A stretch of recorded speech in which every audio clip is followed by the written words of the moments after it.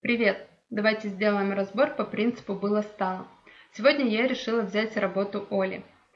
Оля, спасибо тебе за выбор исполнителя, я получила огромное удовольствие при работе. Итак, давайте сначала разберем макет Оли и поймем, что можно улучшить.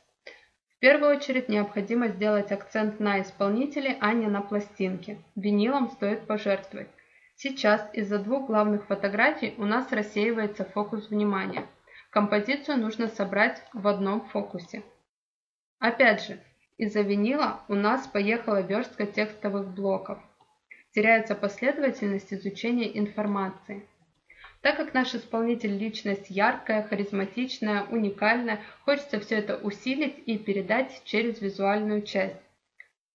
С Олиным разбором мы закончили. Давайте перейдем к тому, что у нас получилось. Скажу сразу, изменения небольшие, но существенные.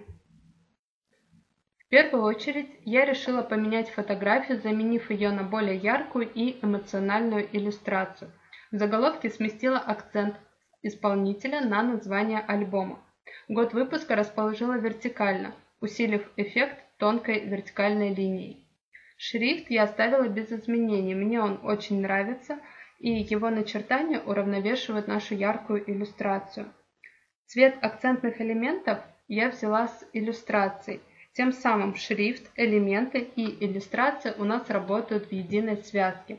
В общем, композиция получилась целостной и правильно передающей эмоции.